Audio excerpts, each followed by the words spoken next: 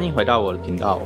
今天要来开箱的就是这个翼飞 F 五猪 F 五 D 的 D 呢，就是 Diecat。Diecat 就是它飞在天上像一只猫一样，它主要呢就是要拿来做 freestyle 或者是飞一些景色用的，跟我们之前 F 叉是不一样的。F 叉算是竞速型、竞技型的。那我们赶快来开箱吧。这台 F 五 D 呢，我配的是有 GPS 的，这个 GPS 是易飞的，等一下会介绍，它是六 S 的。那也是最近搭上这个 O 三 Air Unit，画质太好了，忍不住就买下来啦。好，打开来看里面有什么。这个是 ELRS 的说明书，晚点也会跟大家讲要怎么做对频。它有两种方式，一种是刷那个算是密码吧，另外一种呢就是直接按按钮对频。这个是翼飞的一个通知啦，说不建议再用 Dynamic 的五十或一百五十赫兹，这个我平常也不会去用到。还有这个是 GPS 救援，那有配翼飞的 GPS，它才会给我们这一张。以前那边有一台，它没有配 GPS，就没有这个。这个主要就是一些设定嘛，这晚点再来讲。那它给我们两组讲页，这是翼飞自己出的，叫做哦这里有写，叫做 Nasco F 五。算是算是也是高效率的桨啊，飞起来跟五一四六六蛮接近的。飞机本体，哎哎哎，这台就是飞机啦。那它有搭配翼飞的 GPS。这颗 GPS 应该算是目前市面上算顶规了吧？看过一些评测，它的收心能力跟热启动，算是速度是非常非常快的哦。然后整机的话，大家看这是 O 三，O 三 Unit 的话，它就是前面会多出一段，主要是因为它太广角，太广角可能会拍到螺旋桨。所以它前面会多一段。那 O3 Unit 它可以录制 4K 咯，录制 4K 六十赫兹，非常高级。也就是因为这样，所以才在买这一台。我们先看里面还有什么其他东西。嗯，这一包就是一些配件，有天线啊。这天线它一飞每次都会给我们这个打印件，就是方便我们转天线的。然后还有额外的电池的魔鬼毡，还有电池的细胶垫，还有一些备用螺丝。那这个呢是要拿来锁狗座的。F 五 D 它虽然说已经搭载了 O 三，但这一颗 O 三呢，它大概是 H two 的镜头，用的是一样的。看过一些评测，画面也几乎是一模一样的，但是狗十跟狗十一画质会比它好一点点，就是立体感会好。所以如果真的出去飞到一些光线比较差的时候，狗十跟狗十一可能会更好一点。那这个就是拿来锁它的。这个哇，我不喜欢摸到啊，这个是 O 三的散热。散热片吧。O 三这边的话，因为 O 三发热很高了，所以大家看这里面会有一些鳍片，在飞行的途中可以帮它有良好的散热。最后这个是螺旋桨的螺丝，它有付给我两组，另外一组不知道被我丢去哪里了。好，这就是盒子里面的东西啦。拿到飞机之后，我们第一件事应该要做什么？我们第一件事应该要把这两根天线装上去。我发现我每次买到飞机的时候啊，都会忘了装这两根，就赶快上电看看它转向正不正确啊。结果很容易造成天空端的天线的烧毁。好，那我们来安装一下。这是翼飞的天线，短短的，就 GPS 稍微会一点卡手，那就顺顺的转上去就好，顺时针转嘛，就锁紧了。其实应该还蛮多人会搞不清楚顺逆时钟的这个问题啦，因为这就纯粹要记而已。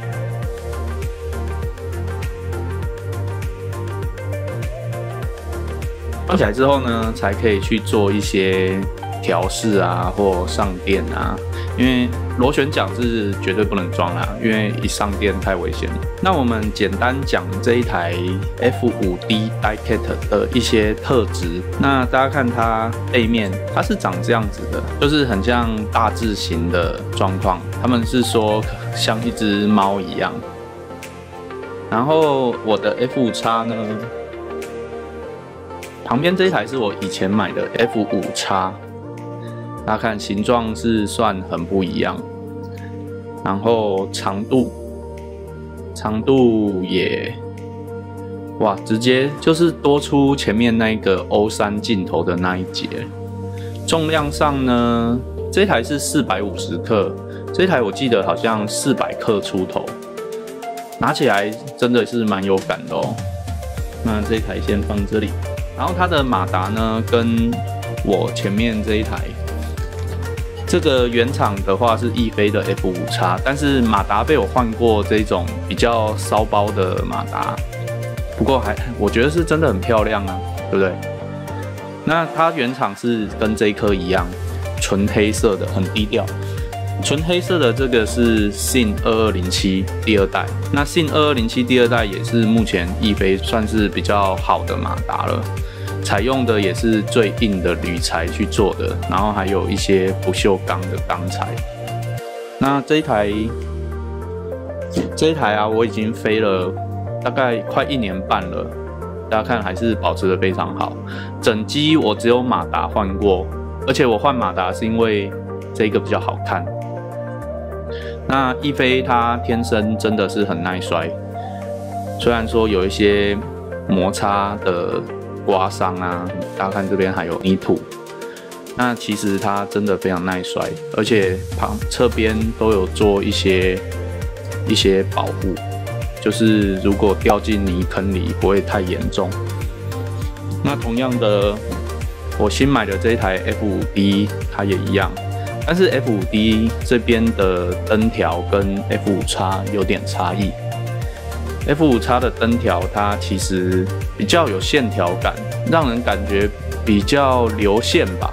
那 F 五 D 这一边的话是比较零零碎，但是也很有科技感。然后这个 GPS 啊，有比对过各厂 GPS，会有一些是像北天啊，或者是化古龙，还有德普的。那价格最贵的应该就是这一颗，那收心速度最快的也就这一颗。那这一颗真的我觉得不错啦，翼飞虽然也不便宜，但品质真的好。再来天线，我这买的是套机哦，所以这个天线是 E L I S 二点四 G。现在二 E L I S 的二点四 G 应该算是快打遍天下无敌手了啦。大家说？如果要用的简单的话，可能用黑羊，但我觉得现在 ELS 也很简单。那晚点也会介绍怎么刷最新的韧体。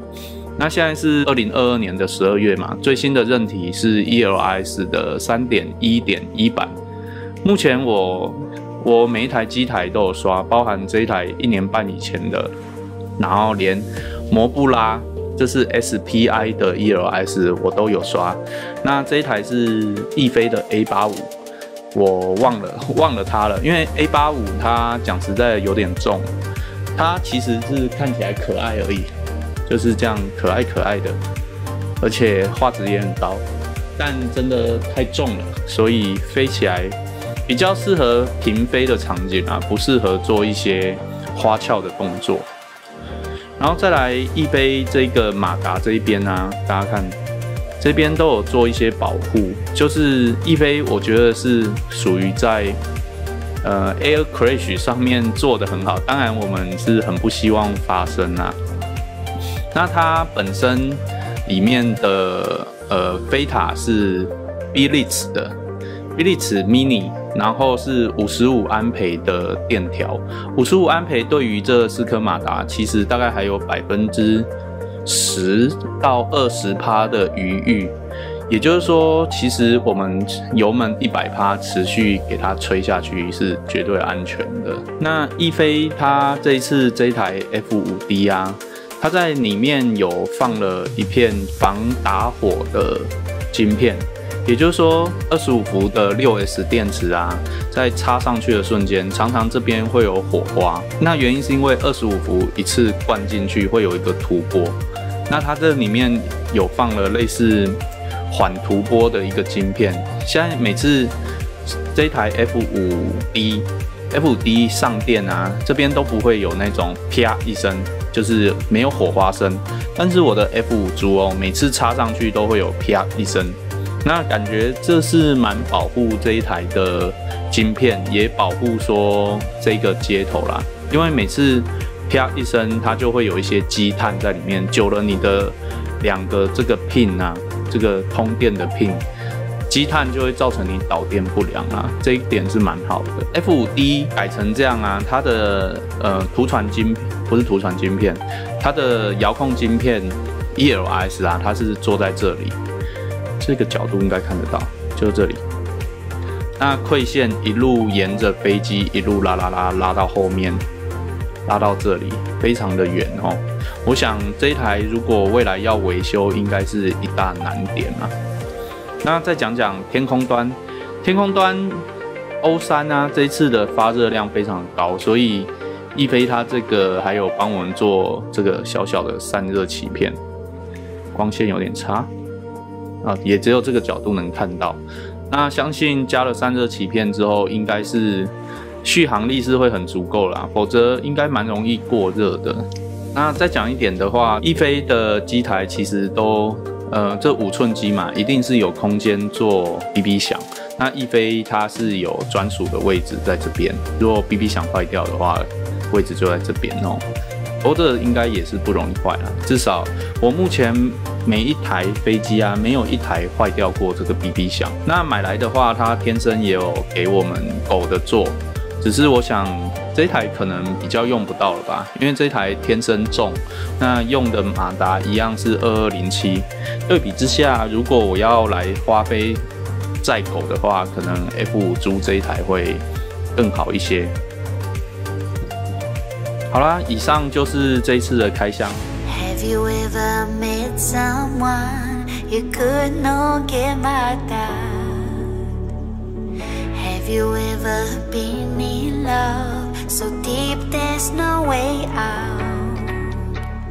I wish I could explain your eyes and how the sound of your voice gives me butterflies. How your smile makes my heart skip a beat.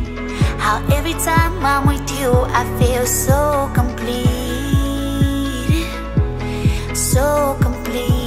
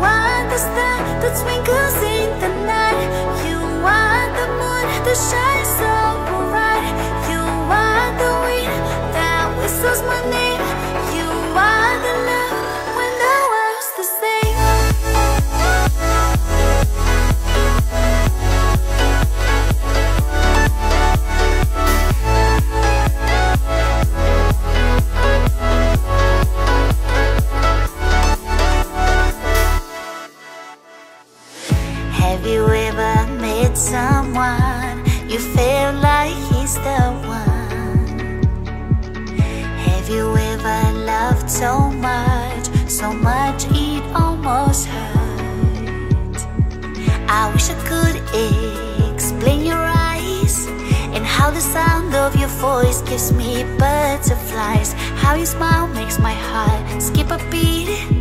How every time I'm with you, I feel so complete. So complete.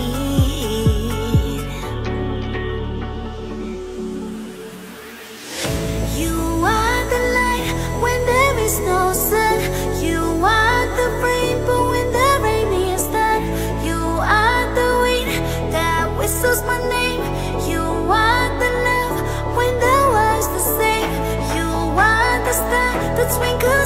the.